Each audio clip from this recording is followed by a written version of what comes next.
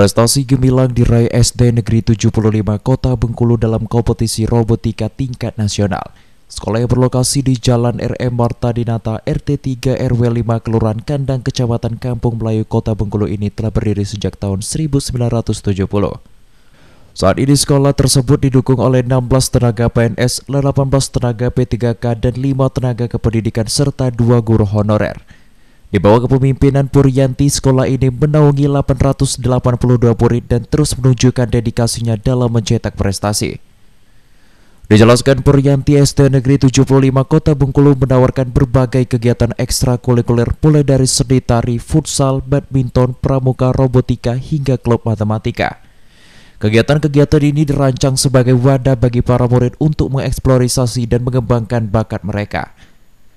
Keberhasilan para murid dalam berbagai kompetisi baik di tingkat kota, provinsi maupun nasional membuktikan efektivitas program ini. Salah satu contohnya prestasi gemilang yang diraih dalam ajang kompetisi robotika tingkat nasional.